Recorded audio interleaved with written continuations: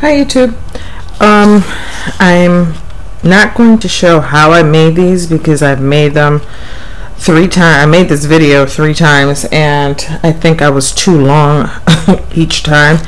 So I'm just going to give you the measurements and show you each one um, that I did and hopefully um, I'll be able to do another video at some point um, actually putting them together but it's not difficult.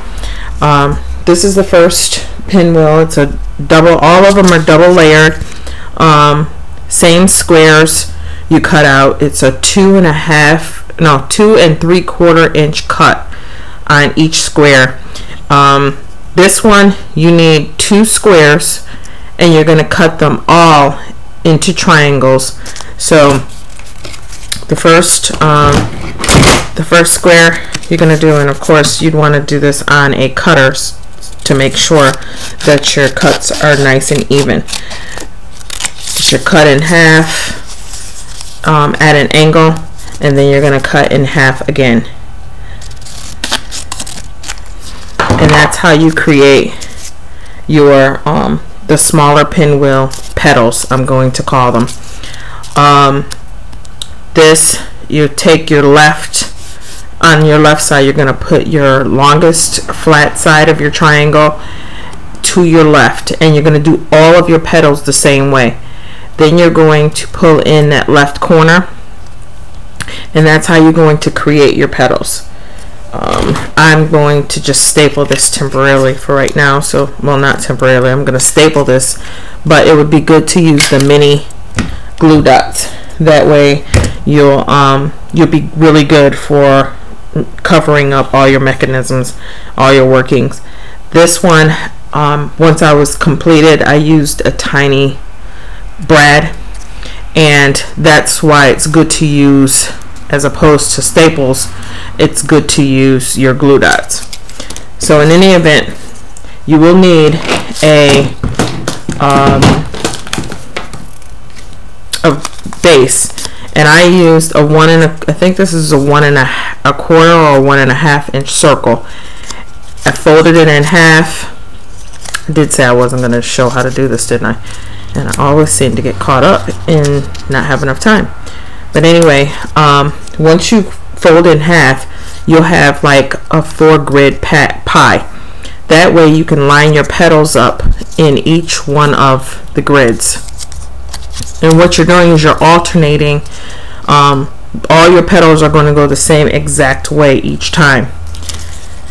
That way when you're completing your pattern it's all alternating you know properly to create that look that pinwheel look.